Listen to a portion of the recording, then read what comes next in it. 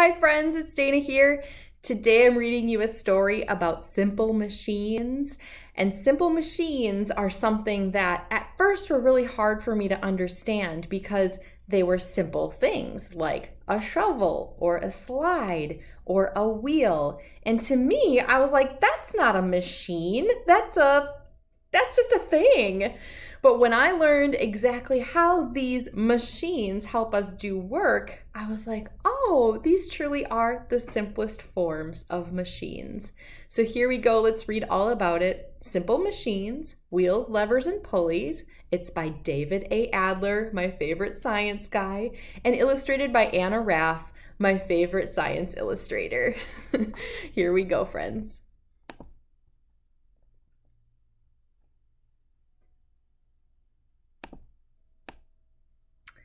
Machines make work easier. Look in a mirror, smile. You are looking at a whole set of simple machines, a whole set of wedges. A wedge is a thin is thin at one end and wide at the other. It's a simple machine that helps break things apart. Your teeth are wedges. When you bite into an apple, the sharp thin end of your teeth split the apple. Your teeth change the up and down direction of your bite into a sideways force that splits the apple into pieces small enough to swallow. An axe is also a wedge. A lumberjack drives his axe into a log. He swings his axe down and the log splits apart. The force of the lumberjack swing drives the wedge into the log. The wedge cha changes the downward direction of the force into a sideways force that breaks the log into smaller pieces. A pair of scissors is a pair of wedges that work together. Thumbtacks, pins, nails, shovels, forks, knives, and chisels are all also wedges. Many boats are wedges too. The front is narrow so it can push easily through the water.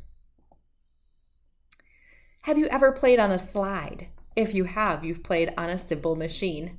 Stand at the top of the slide and look down. It's hard to it's a hard drop straight down, but sliding down is not hard at all. It's fun. A slide is an inclined plane, sometimes called a ramp. It's a flat surface with one end higher than the other. An inclined plane makes it easier to climb up and down. It makes it easier to carry things up or down. Imagine having to lift a box loaded with bowling balls. Lifting the box would be difficult.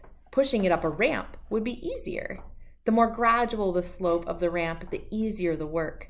Of course, the more gradual the slope, the further you have to push the box. An inclined plane gets the same work done with less force over a greater distance. Roads often twist around mountains. The roads would be shorter if they went straight up, but a road that went straight up a mountain would be too steep to drive. Mountain roads are inclined planes. The more gradual the slope of a mountain road, the easier the drive. But the more gradual the slope of the mountain road, the greater the distance you have to drive to reach the top. Inclined planes are used to load trucks and to make it easier for people in wheelchairs to get around. A screw is an inclined plane around a straight metal nail.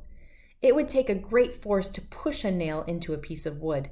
Turning and pushing a screw into the wood is easier. When you push and turn a screw, you are moving it in along a circular inclined plane.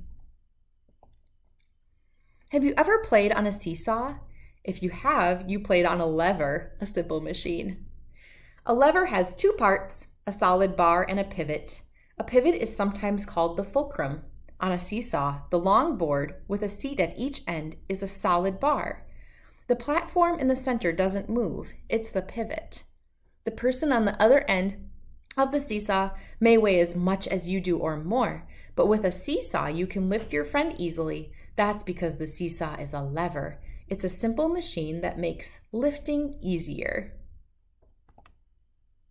A shovel can be a lever. Find a shovel with a long handle. Take it to a sandbox or a beach. First, load the shovel with sand. Hold both hands at the far end of the handle and lift. It's difficult. The load feels really heavy. Now, leave one hand at the end of the handle and move one to the middle and lift. The load feels lighter.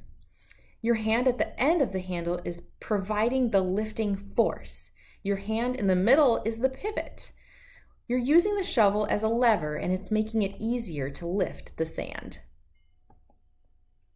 Have you ever tried to move something heavy? It's difficult to push or pull a heavy box along the ground.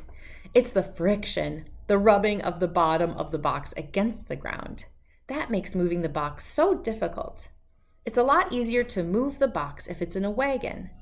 It's the wheels and the axles on the wagon that make the work easier. A wheel and an axle is just a large wheel attached to a small wheel. The small wheel is the axle. A wheel and axle is a simple machine. Wheels reduce friction. Only the very bottoms of the wheels on a wagon touch the ground. That's a lot smaller area than the bottom of the entire box.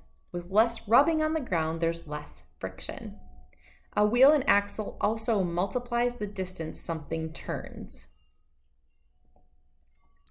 Have you ever been to an amusement park? Have you ever been on a Ferris wheel?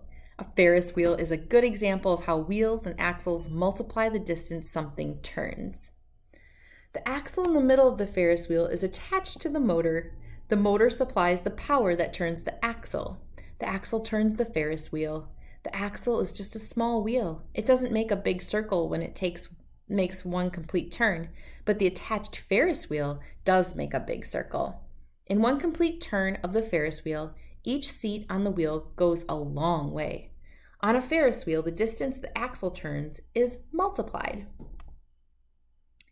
A wheel and an axle can also be used not to multiply the distance of a wheel, that the wheel turns, but to multiply the force used to turn the axle. You do that every day. Every time you turn on a faucet, you are turning a wheel and axle.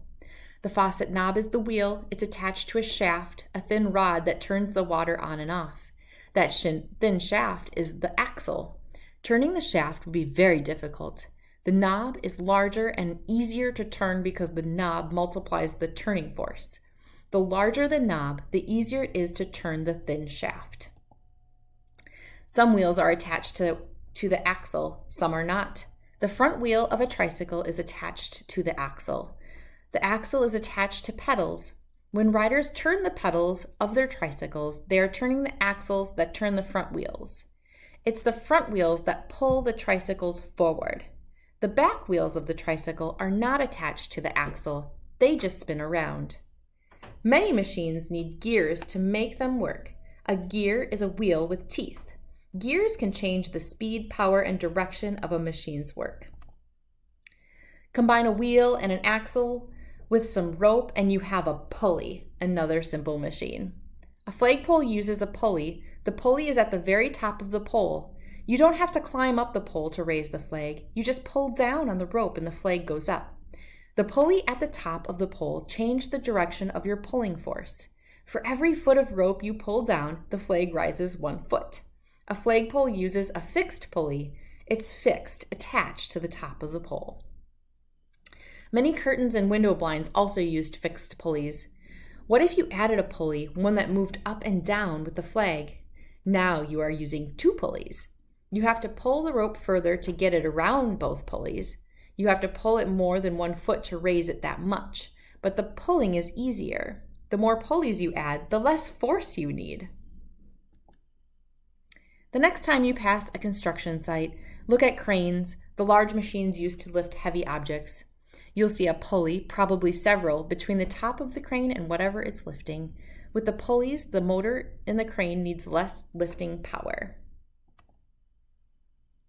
That is the end, friends. I hope you understood the simple machines a little bit more based on this reading.